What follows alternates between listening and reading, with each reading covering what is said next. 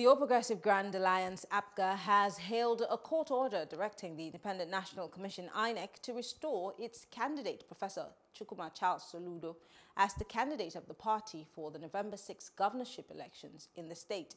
National Chairman of APGA, Dr. Victor Oye, who spoke with journalists in an interview in Abuja, said the judiciary has done well, especially in nipping in the bud the activities of imposters. Uh, he asked that INEC immediately reinstate Professor Soludo as APGA's candidate for Anambra governorship election without delay, saying that Chukwuma Umeoji uh, has no place in the law to claim anything in APGA.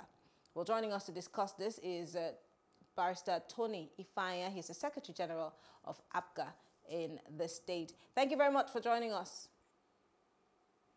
You're welcome. Great. Um, APGA, we have come to realize, is mostly operative in Anambra State and has its stronghold there. And one would hope that, you know, within the state you would be more formidable, uh, you would stand together and try to spread your tentacles to other states in the southeast. But unfortunately, uh, there seems to be a lot of infighting and, and, and, and that has resulted, uh, you know, in the imbroglio, which has, uh, you know, your candidate um, taken off INEC's list for the November 6th election. So give me an idea of what exactly is going on in APGA. Uh, thank you very much. Uh, it's not as if uh, uh there's much going on in APGA except uh, the politics uh, that is everywhere in all the political parties in Nigeria. APGA is not an exception. And the truth of the matter is that we had our primaries on the 23rd of June 2021, fully televised and uh, uh, on live on channels. And the whole world saw, saw the primaries where Soludo emerged with 94% of the votes cast that day. So, and he became, by virtue of that, he became our candidate.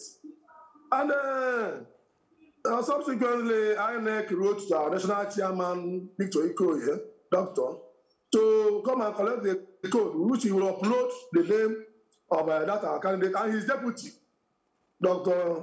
Uh, Onyekachukwu Ibezim, which the chairman did, uploaded on July 2nd.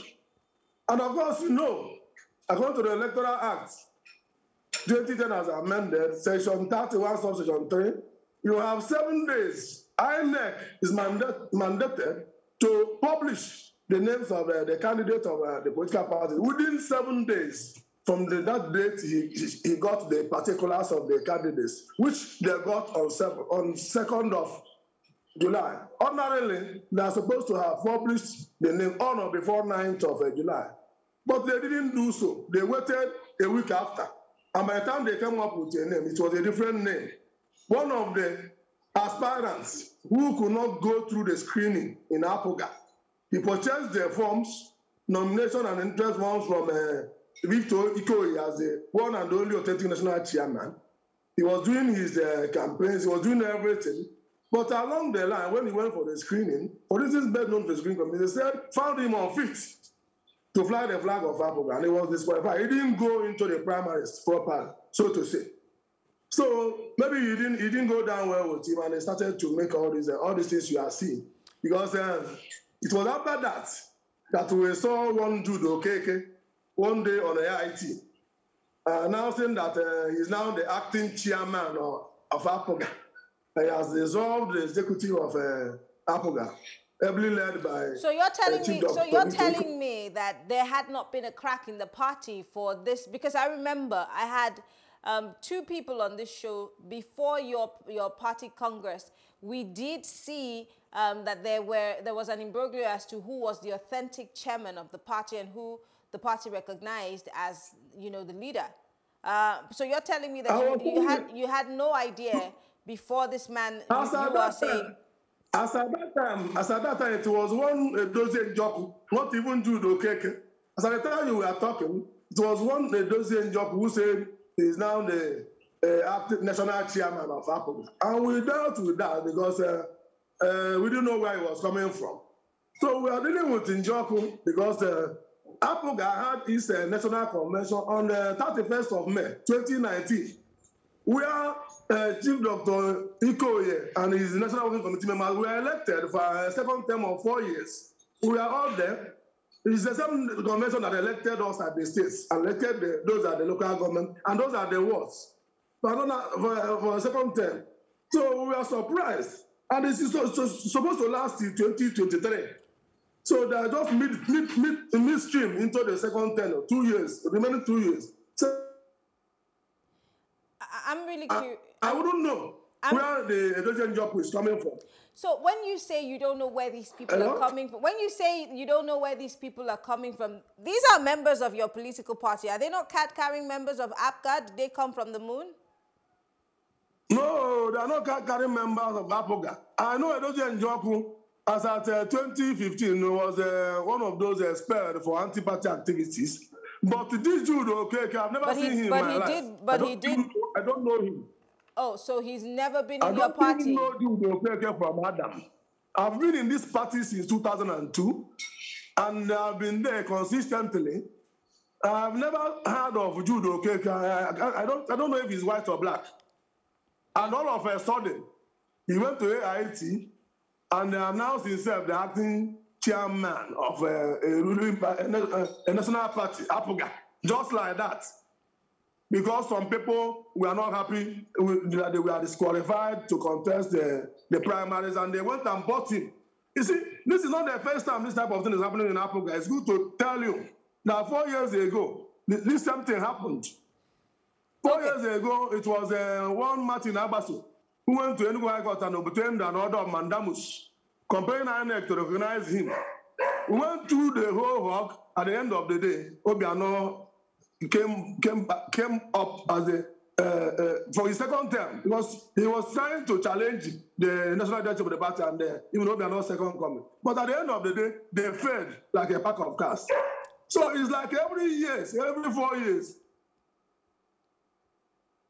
one one trick to distract our attention and maybe to to look for money where they will not find it. So, because all these things we are doing, they were doing is to cause confusion. So my, maybe my curiosity, ask them to come back. So, Mr. Ifeanya, my curiosity here is as to how INEC does not have your preferred candidate's name on their website because as at today, the name there is not of Chukwuma Charles Soludo. Um, so why is that the case? And did your party follow all the due protocols of conducting a primary in your state? That is what they are telling us. Uh, from uh, the INEC commissioner, Festus Okoye, he was saying they will look they will look into the orders maybe this evening or the other about. But the truth of the matter is, why should they in the first place accept nomination from Jude Okeke, who they know is not recognized because they have the list of the National Working Committee members of APGA, headed by uh, Dr. Ruti Ike Oye, with His Excellency Labaran Maku as the secretary. He confirmed that. Even on 19th, he confirmed that. Some days back, he confirmed that. It was Victor he called and asked him to supply the particulars of his candidate, which he did. And he's supposed to publish that name given to him on 9th of July. Why did he wait until 16th when a, a court gave a bizarre order from Jigawa State, Birnin Kudu High Court, brought in Jude Okeke, who is not a registered carrying member of APGA, brought a, a brought a candidate, and he waited seven days so that they will put in that name as, as against the popular candidate of APGA, which is not. That is criminal. It is a criminal act, and we are going to follow it up. It is fraudulent. Mm. INEC is supposed to be an, an, an, an umpire, an impartial umpire. They are supposed to coordinate, they are not supposed to be partisan. But what is playing out shows that they are compromised or that something somewhere happened. And it's not integrity matters so much in what we are doing. If we lose faith in, in INEC, then there's no need for elections in Nigeria. So why can they do such a thing? to play on, uh, on, the, on the intelligence of the whole people. And they put uh, all number into turmoil and anxiety. Why the distraction? When we did everything, and they, they know who is actually the candidate, the national chairman of APGA. It's not, in doubt. His tenure is still remaining two years. And excuse me, let me tell you again, our constitution is very clear on how to remove a national chairman. It's only by national convention, according to Article 20, uh, uh, subsection 3B of our constitution. Okay. And uh, in such a situation, it's must to be two-third majority of the members of the NEC. And who are the, NEC members? The elected officers of the party, even our governor, honorable members, House of Reps, House of Senate, House of Assembly, all of them constitute the NEC, And they must meet. And for them to meet and discuss whether a national chairman should be removed, it must be it, the, the meeting must be someone at the instance of the national chairman whose duty and right it is to summon meetings according to Article 23 of African Constitution. Okay. These things were not met. These people are not APGA. They went in a hotel in Abuja and purport to have held a meeting of APGA NEC. Okay. They uh, hired people we don't know. Hired foreigners. Okay. And they said they, they, they are now acting. Mm. And INEC, knowing the truth, is listening to them. Don't you think it's funny? Well, my question now is, uh, like I asked at the beginning, APGA obviously has a stronghold in Anambra, but then it looks like that that dream might just be, you know, shaky and a bit blurry as we speak.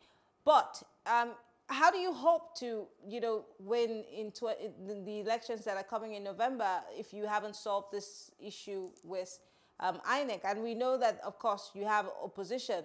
You have the PDP, you have the APC, um, and and if the if the party, as we speak, seems to be drawn in different directions, does this not make you worry for November 6th? Uh, that is what they want us to feel. They want us to feel worried. They want to distract us. But uh, this is a game we know how to play. We know the important thing is that APGA is going for the election. Now, that, that Birnin Kudu judgment of the High Court has been appealed against, and they, they have even sat and they've agreed to assign the matter to a vacation court that will take up take it up as we progress, maybe by August when we go, when the judges go on vacation. So they will take it up. They are, taking it up. We as a party in Anambra, we know our candidates, and our candidate is uh, Chukwuma Soludo. We know even if the matter gets to Supreme Court, Chukwuma Soludo is our candidate. He's not only our candidate, he's the candidate of all Anambrarians. 70% at least of Anambrarians are yearning for him, calling, for, calling on him to come and give his services as the best of all the candidates put together in Anambra State today.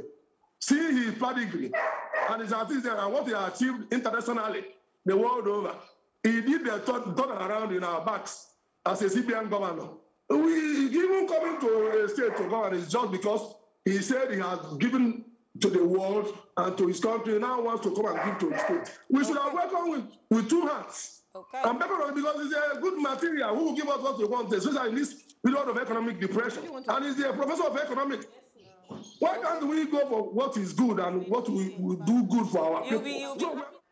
Well, we apologize, of course. I think that somebody's speaking over you. But we want to thank you very much. Barrister Tony Ifeanya uh, is of the APGA uh, in Anambra State. And we've been speaking about the November 6 elections and all that is, uh, you know, been um, uh, happening within the party and how INEC is yet to um, put Chukwuma Charles Soludo's name on there um, as the APGA candidate for um, November 6th. Well, we hope to see, we keep our fingers crossed, we'll hope to see as the story develops and, of course, get more insight into it. Well, I want to thank you all for being part of the conversation. Uh, it's been Plus Politics. I am Mariana Kundu. Have a good evening.